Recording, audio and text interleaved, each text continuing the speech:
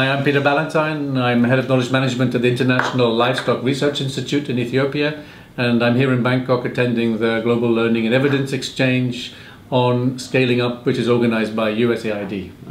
Uh, and my name is uh, Michael Victor. I work for the uh, CGIAR research program on water, land, and ecosystems. I'm the knowledge management and communication coordinator.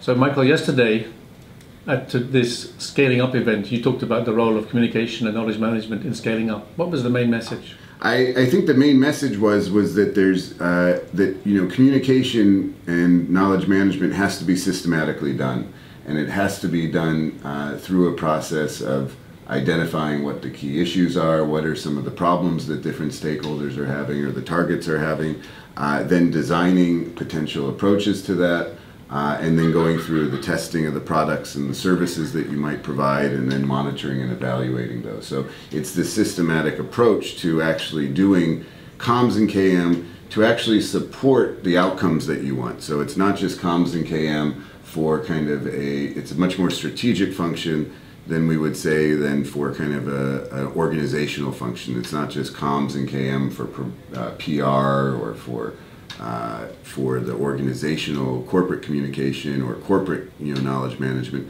but really trying to support the outcomes that you want.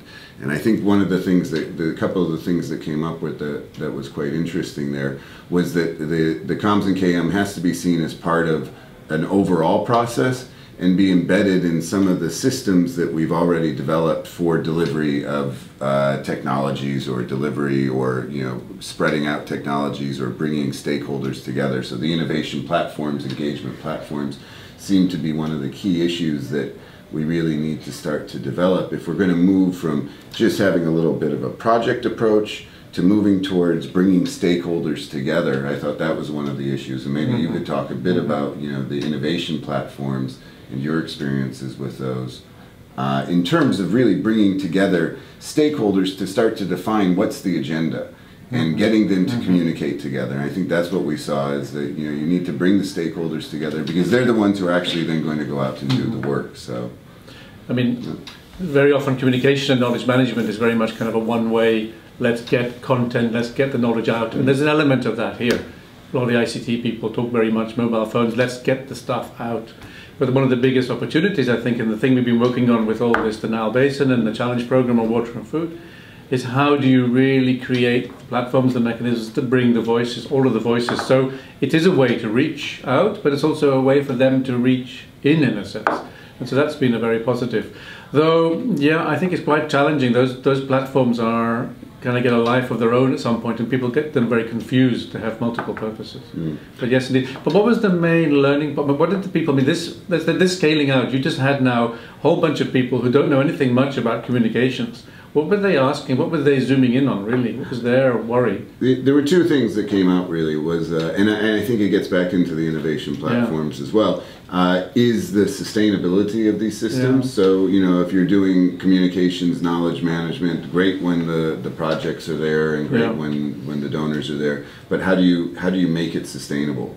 Uh, and and also the impacts. You know, can you start to to yeah. really kind of document or demonstrate what's the contribution of comms and KM to the actual uh, to the actual scaling yes. up? You know, yes. what's their contribution? Well, I mean, what for me is very interesting with meetings like this is that you very much the communication agenda is often driven by what we think people should know. Mm. And very often our colleagues, our the researchers, the policymakers, the development actors, they have very clear ideas of what they want to do. They, they know what their outcomes are, whether they're nutritional outcomes, mm. whether they're um, food security outcomes.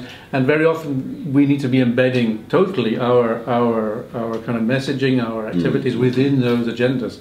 And innovation platforms is part of that. I mean, certainly within the CGIAR, these platforms are being used as a new way of doing research as a new way of doing innovation mm. in a sense and there so we need to be part of that whole conversation right. yeah no i think that's one of the things that you know i mean when we were going through the communication strategy approach that came up very clearly mm-hmm. is if you do that by yourself if you try to you know develop a campaign even by yourself or without it's yeah. not addressing a problem no. it's not bringing in the researchers uh, and you're trying to lead that process on your own you're going to get nowhere yeah. there's going to be no content yeah. no interest and it's yeah how do we embed ourselves into the research itself. Yes. And, and I think still in the CGIAR, that's one of the big challenges.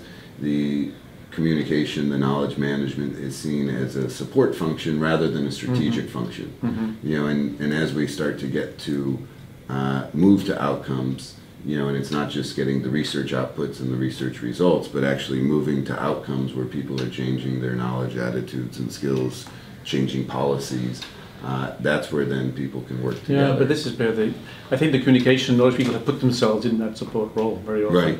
And I think being involved in conversations like this is exactly where we need to be. I mean, it's quite striking. There was that there was a meeting recently where someone from China said, you know, we're doing research with without with she said, you know, we're we're doing research projects where we reach thousands.